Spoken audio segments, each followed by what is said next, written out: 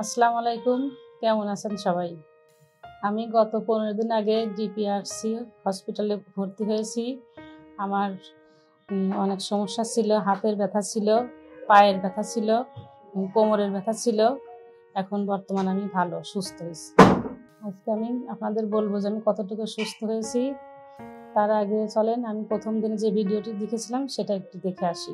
আসসালামু আলাইকুম, আমি সাবিনা ইয়াসমিন। আমি পাবনা কাশীনাথপুর থেকে আসছি। আমার বয়স আটত্রিশ বছর।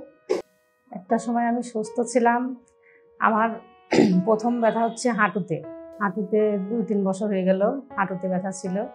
মাঝে একটু ভালো হয়েছিল, আবার পেইনটা শুরু হয়েছে। আর মূলত দুই বছর আগে আমার এখানে ব্যথা হয়েছিল হাতে। এই ব্যথাটা এখন বর্তমান ভালো। ট্রিটমেন্ট করছিলাম, ভালো। আর হচ্ছে কোমরের ব্যথাটা হয়েছে এবার রমজান মাস থেকে। প্রচণ্ড ব্যথা ছিল রমজান পরে এসে আমি এখানে ডাক্তার দেখানোর পরে ওষুধ খাওয়ার পরে আমি ব্যথাটা অনেকটাই ভালো। মানে ওষুধ শেষ হওয়ার পরে আবার একটু ব্যথাটা শুরু হয়েছিল। তারপরে আবার এখানে আসছি চিকিৎসার জন্য। হাঁটুতে হঠাৎ করেই মানে ছেলেকে নিয়ে স্কুলে যেতাম মানে চারতলায় হচ্ছে ক্লাস ওঠানামা করতে কি ব্যাপার ব্যথা লাগে এখানে, হাঁটুতে ব্যথা লাগে। তারপরে গত বছর আসছিলাম ঢাকাতে এসে এসে ইবনে সিনা দেখাইছিলাম। ওখান থেকে উনি বলছিল যে হাড়ের জয়েন্ট এইভাবে ফাঁকা থাকে, এভাবে লেগে গেছে। এক্স রে করার পর ধরা পড়ছিল। তখন উনি বলছিল, ওষুধ দিছিল পেইন্টের ওষুধ দিছিল, তারপর হচ্ছে ব্যায়াম করতে বলছিল আর থেরাপি নিতে বলছিল। তখন আমাদের ওখান থেকেই মানে কাশনাথপুর নাটিয়া বাড়িতে ইয়ে আছে। ওখান থেকে কয়েকদিন থেরাপি নিয়েছিলাম। নেওয়ার পরে একটু কমছিল আবার যেমন তেমনই।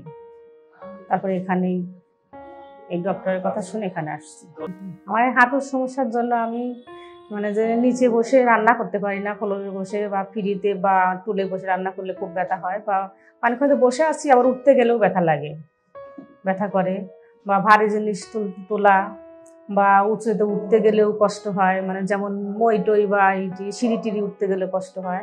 বাজারে গেলে হা, বেশি হাঁটাহাঁটি করলে বা অনেকক্ষণ বসে থাকলে বা অনেক সময় দাঁড়িয়ে থাকলে ব্যথা করে।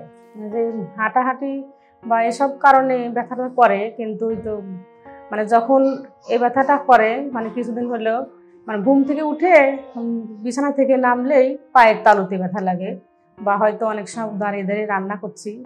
তখন হয়তো বা পাটা একটু এইভাবে ফেললে বা করলে ব্যথা করে। মানে ঘোরালিতে। কয়েকদিন পর থেকে আমার কোমরেও ব্যথা হচ্ছে। কোমরের ব্যথার জন্য কয়েকদিন মানে যে আমি রাতে ঘুমাতেও পারিনি বা রমজান মাসে খুবই কষ্ট হয়েছে মানে ফ্লোরে বসে যে ভর্তাটা করব বা সবার ভাতটা বেড়ে দেবো বা ই করব এটা করতে পারিনি। মানে নিচে বসতেই পারি না। নামাজ পড়া খুবই কষ্ট হয়েছে। নামাজ পড়তে গেলে এখান থেকে তো ব্যথা এখানেও ব্যথা করছে এখানেও ব্যথা করছে। মানে এখান দিয়ে ব্যথাটা মানে কোমর থেকে এইখানে, ডান পাশ থেকে এই দিকে এসে সরে পড়ছে। বসে নামাজ পড়া খুবই কষ্ট। সি হসপিটালে এসেছি আমার দুলা ভাই খলিলুর রহমান, ওনার বাড়ি সাগরকান্দি, পাবনা। উনি আসছিল, ওনার হচ্ছে কোমরের ব্যথা ছিল। উনি এখন থেরাপি নেওয়ার পরে অনেকটাই ভালো। তখন আমার ভাগ্নে আমার ভাগ্নে এখানেই থাকে ঢাকাতে। উনি আমাকে এখানে নিয়ে আসেন। ইন্ডিয়া গেছিলাম আমার দুই হাত ঝিমঝিম করতো।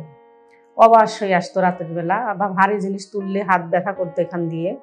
তারপর হচ্ছে এখানেও অনেক ডাক্তার দেখাইছি, পাবনাতেও দেখাইছি, ঢাকাতেও দেখাই সবাই বলে অপারেশন করতে হবে। মানে এখানে নার্ভের অপারেশনটা করতে হবে। তখন এখানে করালাম না, তা আমার মেজদোলা ভাই আপা ওনারা যাবে ইন্ডিয়া তখন আমাকে ওই করে নিয়ে গেলো যে ওখান থেকে দেখাই নিয়ে আসি। ওখানে যাওয়ার পরে ওনারা বললে যে না অপারেশনই করতে হবে। ওখানেও চেক আপ দিছিল। তখন ওখান থেকে ডাইন হাতটা অপারেশন করে আসছে। এখন এই হাতের এই জিম জীবনীটা নাই, অবাস হয় না।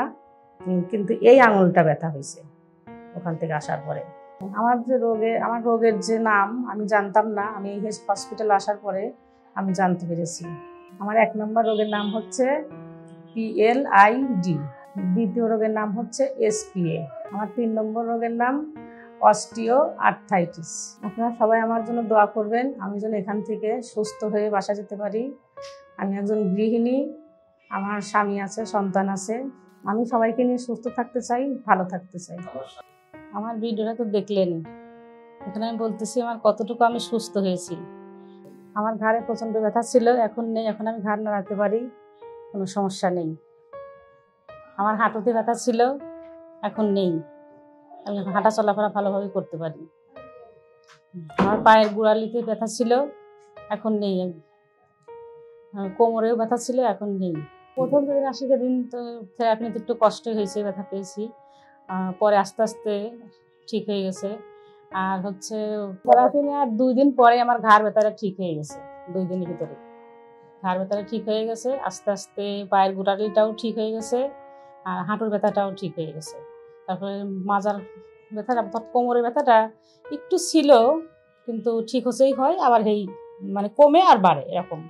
তারপরে স্যার আসার দেখার পরে উনি আসলো বললাম, তারপরে ইঞ্জেকশন দিল, এখন থেকে সুস্থ। মানে এখন ভালো, কোমরের ব্যথাটাও ভালো। এখন কোমরে চাপ দিয়েও বসতে পারতেছি হাঁটা চলাফেরাও করতে পারতেছি, এবং শোয়াতেও এখন কোনো সমস্যা নাই। মানে ভালো, বলতে গেলে এখন সুস্থ। ফিজিওথেরাপিস্ট ভালো এবং ভালোই সার্ভিস দিয়েছে না ভালোই করছে। তারপরে হচ্ছে, ব্যবহারও ভালো, এখানকার সবাই ভালো। নার্সদের ব্যবহারও ভালো।